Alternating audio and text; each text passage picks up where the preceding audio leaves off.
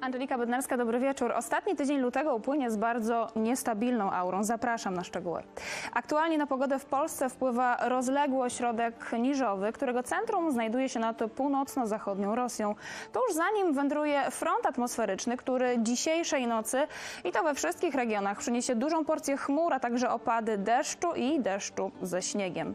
Nad ranem termometry wskażą od minus jednego stopnia na Suwalszczyźnie przez 3 w centrum i do maksymalnie 6 we Wrocławiu oraz w Zielonej Górze. Odczuwalnie może być jednak chłodniej, bo wiatr w całej Polsce powieje z prędkością około 80 km na godzinę, a w górach chwilami rozpędzi się nawet do 120.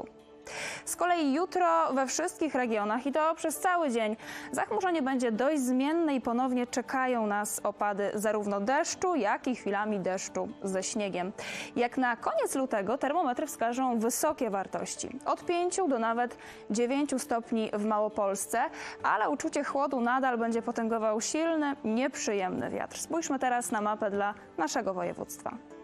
Zarówno wieczorem, jak i w nocy nad regionem zalegać będą frontowe chmury, które przyniosą opady deszczu i deszczu ze śniegiem.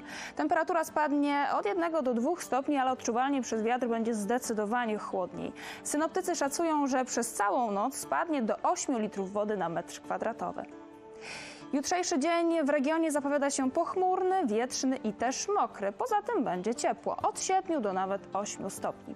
Nastąpią teraz wahania ciśnienia i jutro barometry wskażą 978 hektopaskali.